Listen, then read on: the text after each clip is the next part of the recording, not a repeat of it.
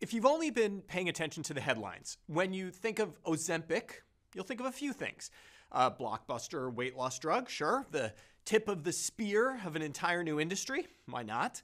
A drug so popular the people it was invented for, those with diabetes, can't even get it. Drugs like Ozempic, the GLP 1 receptor agonists, are undeniably game changers. Insofar as obesity is the number one public health risk in the United States, anti obesity drugs hold immense promise, even if all they do is reduce obesity. But if you've been looking a bit deeper than the headline grabbing stories, if you've been reading some of the case reports or, you know, listening to your patients, you'll start to wonder if Ozempic isn't doing something more.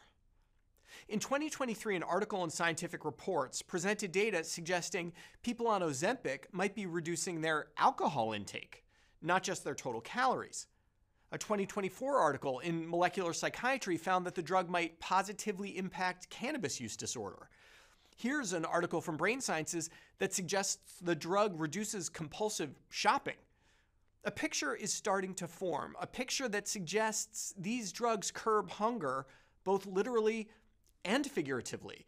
That GLP 1 receptor agonists like Ozempic and Mounjaro are fundamentally anti consumption drugs. And in a society that some would argue is plagued by overconsumption, well, these drugs might be just what the doctor ordered. If only they could stop people from smoking. Oh, wait, they can.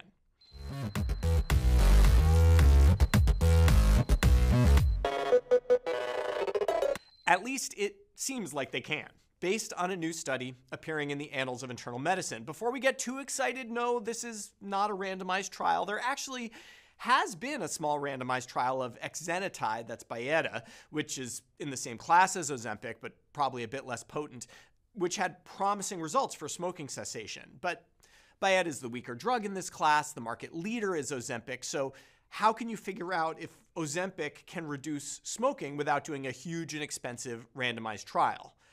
You can do what Nora Volkow and colleagues from the National Institute on Drug Abuse did. You can do a target trial emulation study. A target trial emulation study is more or less what it sounds like. First, you decide what your dream randomized controlled trial would be. You plan it all out in great detail. You define the population you would recruit with all the relevant inclusion and exclusion criteria. You define the intervention and the control, and you define the outcome. But you don't actually do the trial.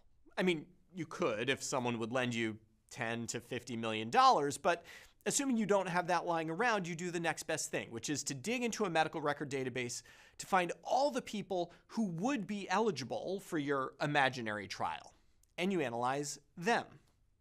In the case of the Annals paper, the authors define seven target trials Ozempic versus insulin, Ozempic versus metformin, Ozempic versus DPP4 inhibitors, Ozempic versus SGLT2 inhibitors, Ozempic versus sulfonylureas, Ozempic versus thiazolidinediones, and finally, Ozempic versus other GLP 1 receptor agonists. None of these trials are happening in the short term.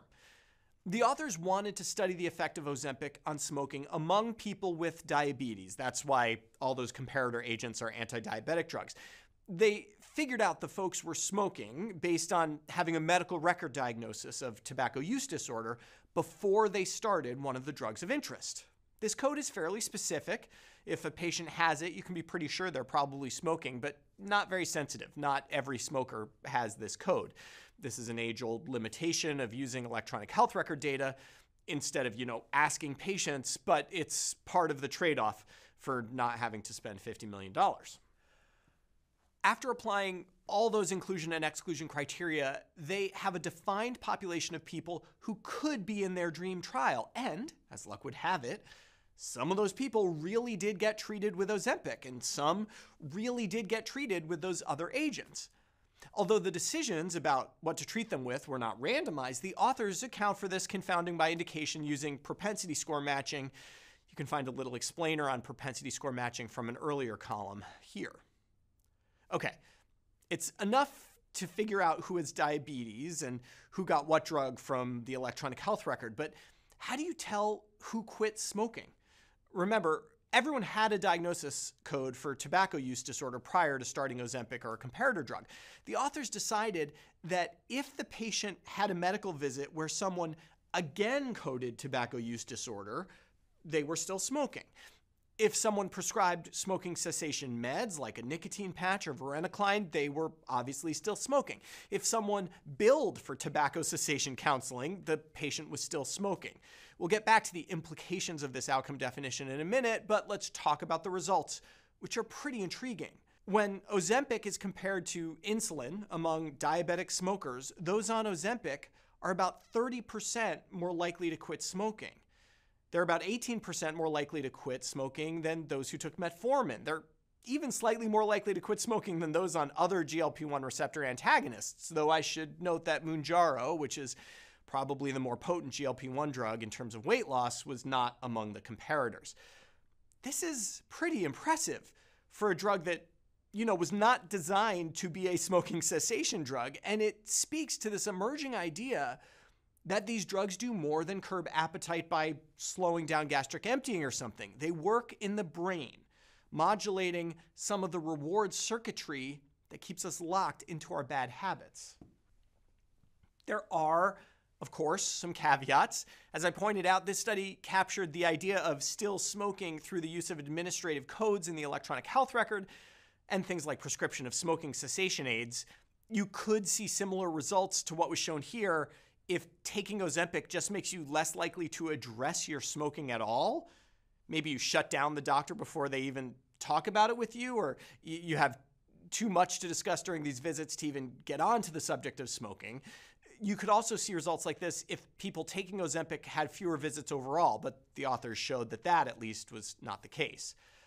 And I'm inclined to believe this effect is real simply because we keep seeing signals like this from multiple sources if that turns out to be the case, these new weight loss drugs may prove to be much more than that.